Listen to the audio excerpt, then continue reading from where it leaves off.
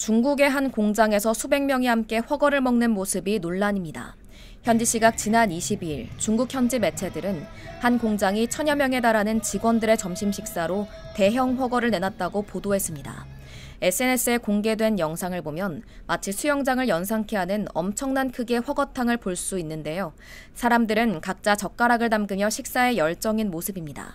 네티즌들은 강가에서 야채를 낚는 장면 같다. 신종 바이러스를 위한 냄비냐.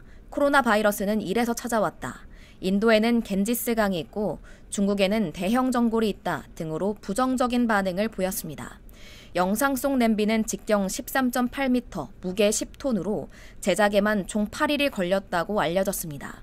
넓게 둘러앉으면 한 번에 138명까지 식사할 수 있어 이날 천여 명에 달하는 직원들이 교대로 식사를 진행한 것으로 알려졌습니다.